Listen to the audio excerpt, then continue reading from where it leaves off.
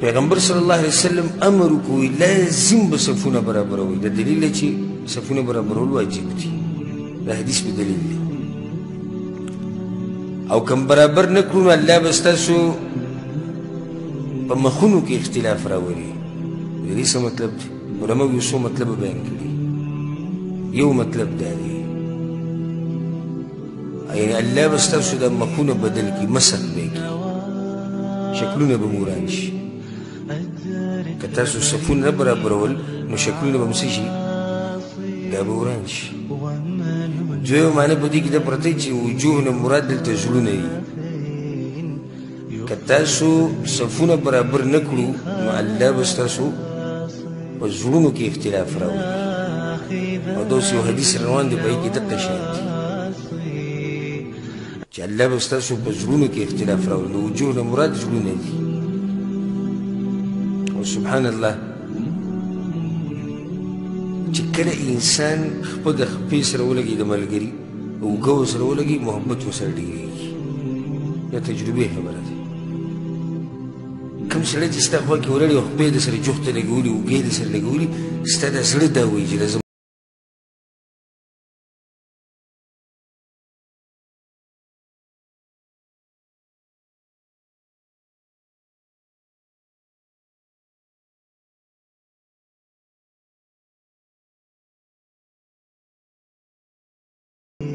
وی موږ به د پیغمبر صلی الله علیه وسلم په زمانه کې خپه د خپې سره لګوله اوږه د اوږې سره او وی نن سبا چې چا د خپه وړله وی داسې ټوپ ووي لکه زندګي دا هغه په خپل دور کې نو بیا دا کوم وصف چې هغه بیان کړی زما هم ما نه دی بیان کړی څوک سبا لوي چې دور د ځنګلې کړو انس ابن مالک رضی الله عنه داسې ټوپ ووي لکه حمار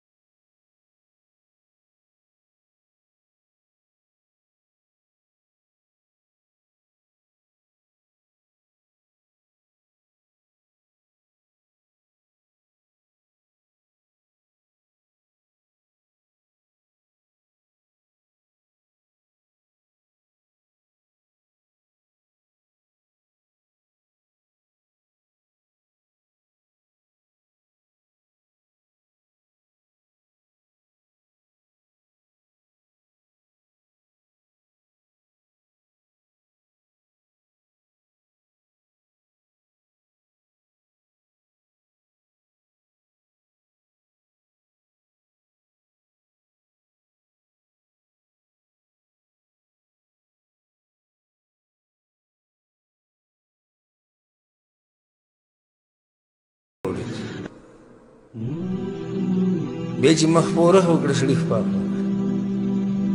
بیا هم پسې ورخ وکړه بیا خپا کړه اخر دا چې په الله ته قسم خورم چې له دواړه خپې بلکل داسې کړي د خپلې داسې یو ځای کړي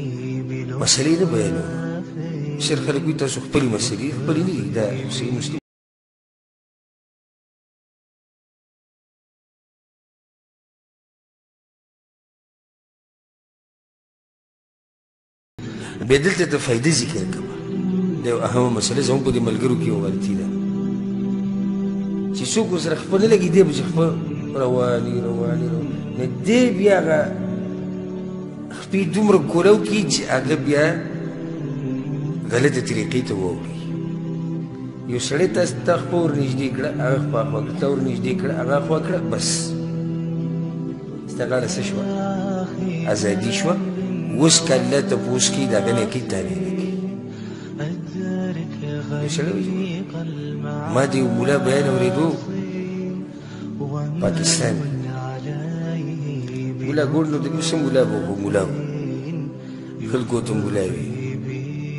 هغه دوي والعياذ بالله وي د خپې د خپې سره اوږه د اوږې سره هغه سړی لګوي چې دی بیماري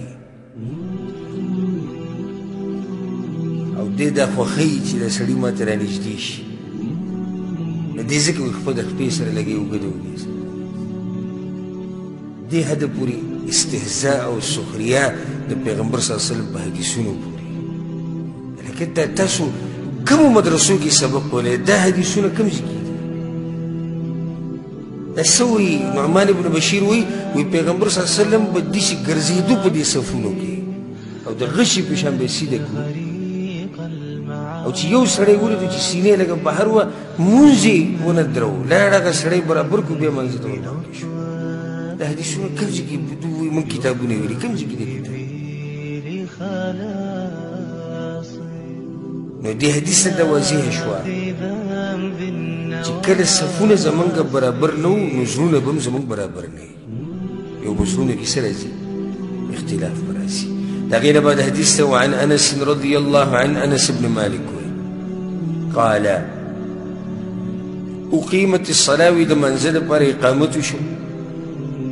فاقبل علينا رسول الله صلى الله عليه وسلم بوجهه د پیغمبر صلی الله علیه وسلم د شاته وکړو د مخې مونږ ته روانه